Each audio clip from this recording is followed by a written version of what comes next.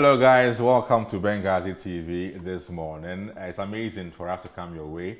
Once again, with chat room on Bengarzi TV here on YouTube. And like I always tell you, if you have not subscribed to the channel, please do. All you do is look at that button down there, click on it. There's a bell next to it as well. Click on that one as well. You'll get notified whenever you post something here on Bengarzi TV here on YouTube. Now, today we have a special, special guest with us who will share her experiences traveling around the world, how she's been managing life in our GH. She's been enjoying life in Ghana actually, and I'll be asking her today how it's been for her as she's been in Ghana for some time now. Life in Ghana, life around the world and everything there is, we want to experience and get that from her today on our chat with her. Our, our guest today is an award-winning TV personality, who currently is the host of Cheers on GH1 TV. She's well traveled, she's been around the globe, she's, I don't want to use the word "globe globetrotting, but she's been traveling all around the world, having fun. And she is indeed a former, I mean, not even former, she's someone who loves pageants. And so we'll ask her about all that today on our chat room with Ben Bengarzi. So our guest today is the one and only Shallie Abuzi. Uh, she is Belgian and she is the host of Cheers on GH1 TV and also a TV, award TV personality. Shallie, good to have you join us on our channel. Thanks for having me. So, Shallie, tell us, um, how has the experience been like for you with, uh, let's few, uh, how many months have you been in Ghana, first of all? I just got back two months ago. So, how has it been for you the two, last two months in Ghana? It's been challenging in a way um, to settle, to work here now. You know, now it's not for vacation or you know to do business now is actually to work.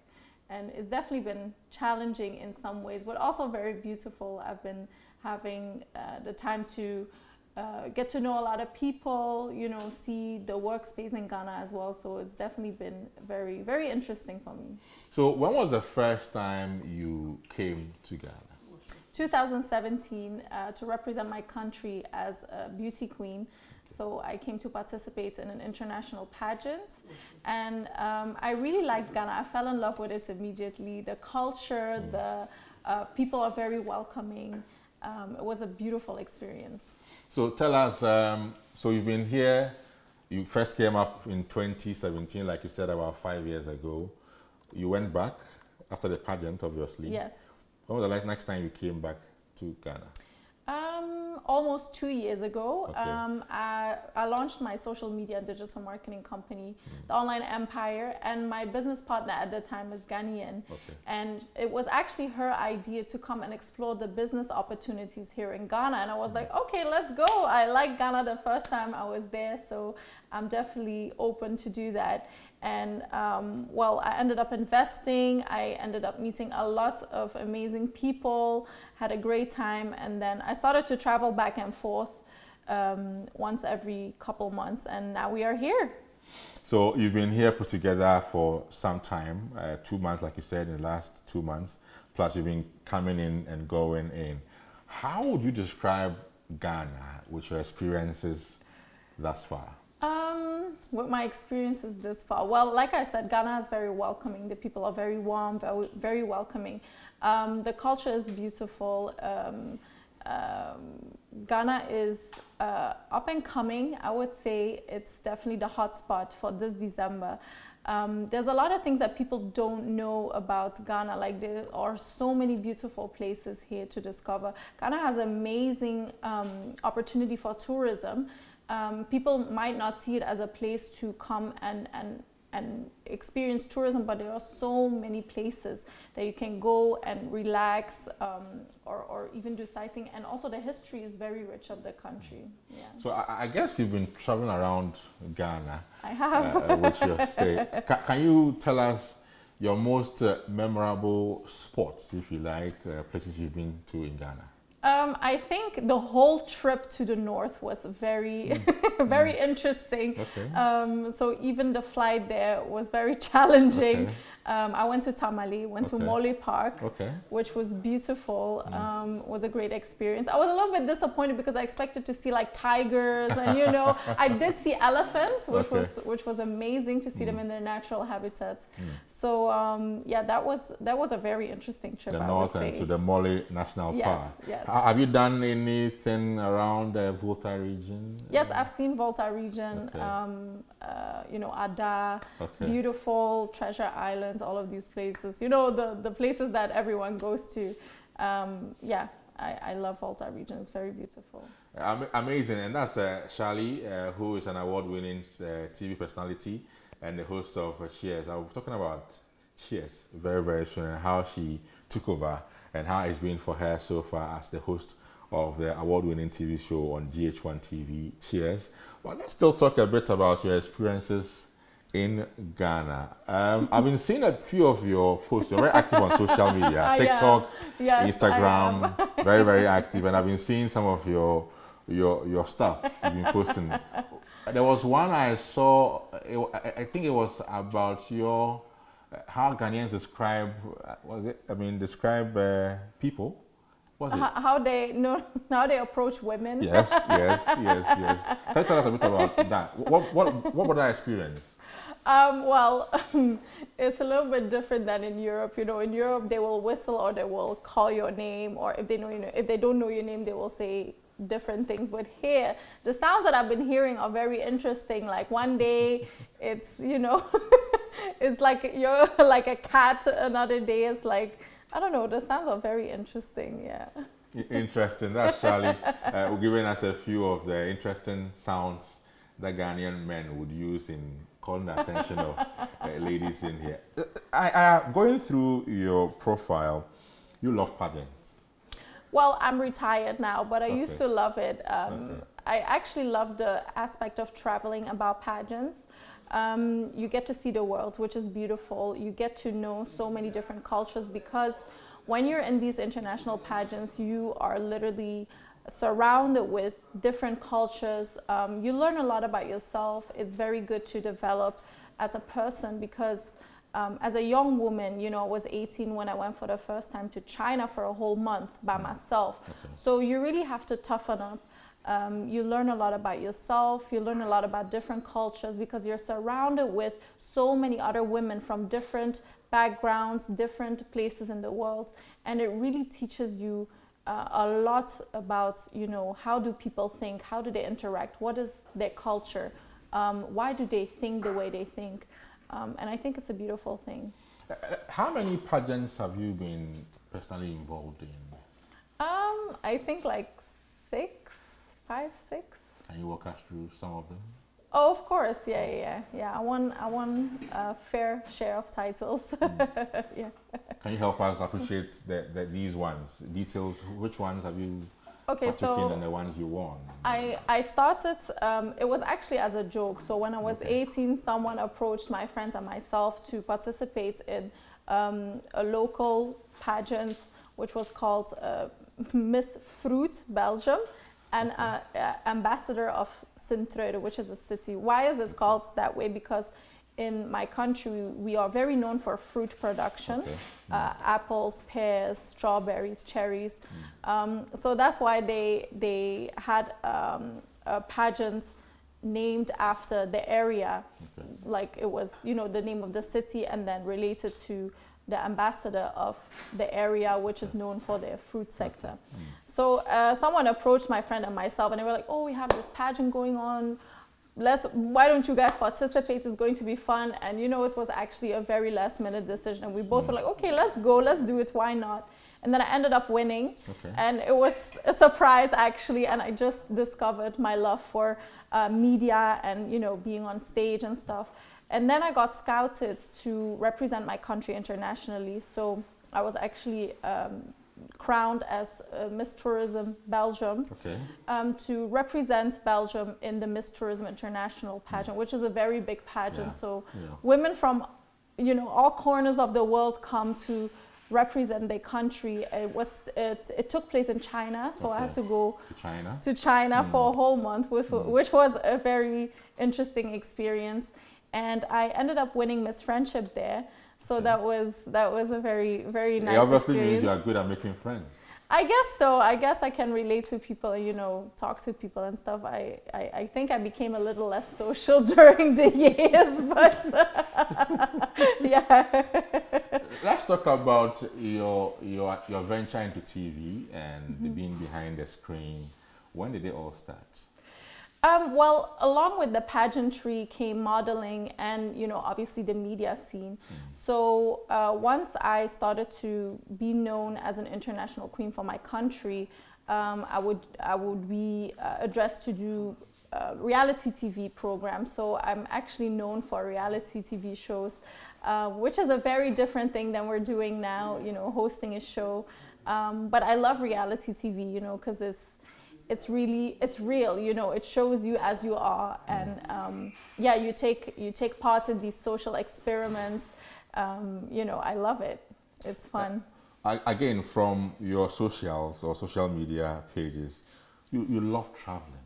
i, I love see you all over uh, the places. Uh, can you tell us about four or five countries you've been to, apart from Ghana and your country, Belgium? Um, well I've, i think i've seen almost the whole of europe Wow, um, yeah the whole of Europe? I- almost i think a couple countries are lacking Okay. um, well the northern countries like Okay. finland and denmark Okay. um, but yeah i've seen a lot of europe um, France, Italy, of course, Spain, of Portugal, Romania. no i haven't been to romania Okay, actually yeah Okay, Germany. Germany, Luxembourg, Luxembourg. Switzerland, Okay. England, Because you know it's it's very easy to travel within the Schengen Hmm, area. Greece, I love Greece; it's one of my favorites. Okay. Um, I think the most exotic country I've been to, or exotic, is um, India. I think India was a very very beautiful experience. I've seen the Taj Mahal, which Mm. was Mm, nice. Wow, That's like nice. yes, yes. I think that is one of my top memories when it comes to traveling. Um, I actually love uh, the UAE. I love Dubai, Abu Mm. Dhabi. Mm. Um, and then recently I went to Martinique and Saint Lucia, which Okay. is beautiful. Mm. Oh wow, what a Mm. scenery! So so beautiful. Yeah. How would you rank, or ho- ra- help us appreciate this, the places you've been to around the world? Give me the top five best countries, as in, you know, ambience, environment, the, the looks, and all of that. So for me personally, I really enjoyed Indonesia because Mm. of the beautiful nature, the food, the kind people. So um, Thailand as well. Mm. Uh, I love Asia, by the way. It's so they have such a rich history, rich culture. Um, so different from our culture, so it's very interesting. So I would say um, Indonesia, Thailand, uh, top five. Mm, I think this is difficult. I think Dubai is definitely my top five because I love luxury and I love, um, you know, I love things like that. I really enjoyed um, Egypt because of the history, the pyramids Okay, and stuff. yeah. Um, and I would have to put India in there because it's a very, very unique experience. Before we talk about your your relationships with uh, Cheers and how, how come you came into the situation of taking over the Cheers program on GH1 TV in, in Ghana, let's go back to your country, Belgium. how was your upbringing like growing up as a kid? How was it like in Belgium? Um, well, this is going to be very interesting. Um, so I'm half Italian, half Belgian. Okay. And back in the days, this is something that a lot of people don't really know. Um, we would be seen as foreigners in Belgium because Okay. we come from Italian descent. Okay. So my upbringing was very interesting. I actually got, I actually was bullied in, in school Wow. when I was younger. Yes. Wow. Um, so it wasn't really a great experience, um, but it definitely made me into the person I am today. Mm-hmm. Um, and you know, I have I have lovely parents. I don't have siblings. Oh, you're the only. Yes, Okay. I'm very close to my mom and dad, and my Mm. dad has a lot of siblings. So I have a lot of aunties and uncles. You know, and the Italian culture is Mm. very very nice. You know, we are very warm. Family is very important to us. Well, you know, school is great in Belgium, or, or education system is, is great. There are a lot of opportunities if you want to go study, um, or healthcare is amazing. Um, yeah, it's just a quiet country, I Mm, would say. It's mm. stable, it's safe, it's it's quiet. Yeah. Talking about Belgium, eh, just just about a day or two and the World Cup is going to be underway. Belgium are obviously involved once again. A golden generation of the Belgian team seems to be gradually going down. Eden Hazard, Kevin De Bruyne, De Bruyne, De Bruyne, and Lukaku, and all those guys are going at it again. Your team, Belgium. Mm-hmm. Even though you are supporting the Black well, Stars. Well, now. I'm, um, you're now you with know, the Black I'm Stars. I, I you're now with the Black switched. Stars, obviously. but, but do you see Belgium doing quite well this year, the World Cup? Um, I think so. Well, they have been solid the past uh, World Cups and even in the Euro Cups. They have they've been solid, but there's always something lacking for them to really go far. Hmm. And I I think maybe this year is going to be a change. I think they are um, well. There's not a lot of buzz around Belgium. Hmm. Um, if we look at you know the World Cup and the, the teams that are participating, but I think they can be the underdog who is going to get far this year. Okay. Tough for them to you know to go into the semifinals or quarterfinals, but let's see. Let, in wrapping up, let, us talk about Cheers and your role on TV now in Ghana on GH1 TV. How did they come up? Cheers, Shallie Cheers, and GH1 TV. Um, it was actually very random. I was in a beauty salon and uh, Nana Aba actually saw me and we ended up having a conversation. Um, well, I told, she asked me what I do. I, I was just um, done with a reality show in Belgium, very big reality show called Temptation Island. Okay. And um, she was like, oh, you know, we should sit down and talk and, and, you know, see what we can do. And well, now we are here. It actually went very fast. And you know i went back home after shortly after. So um, you know I, I, took it into consideration. I was like okay you know maybe it's something that i want to pursue.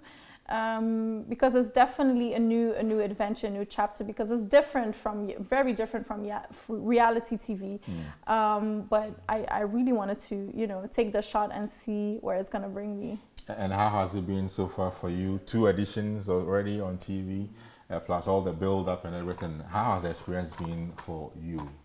Um, it's definitely been challenging. Um, I've been, I'm not gonna lie, I've been stressed. I've uh, been working hard. Uh, been studying my sports. Um, yeah, learning a lot. It's it's definitely been very, very interesting, and I've learned a lot so far. So yeah.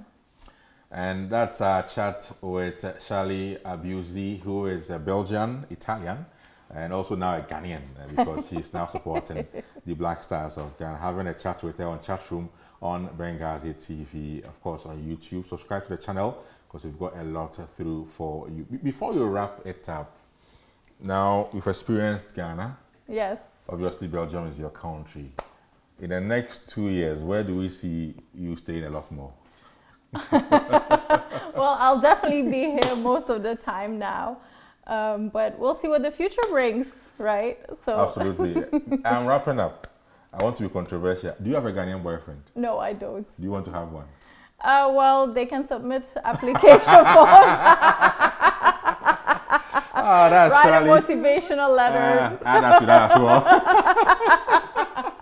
so that's our chat with Shallie. Thank you very much, Shallie. As always, a pleasure. Great to have you on chat room on Bengarzi TV. And I'm sure you will enjoy every bit of your stay in Ghana. And the very best of luck as you run the Cheers show. Great Thank show. you.